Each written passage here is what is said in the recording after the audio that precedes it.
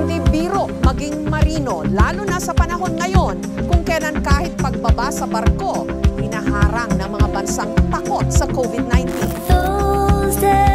Love, ah, salamat sa ano, lagi kang nandyan. Pag ah, gusto ko ng kausap, laban lang, kakawirin ako. Mahal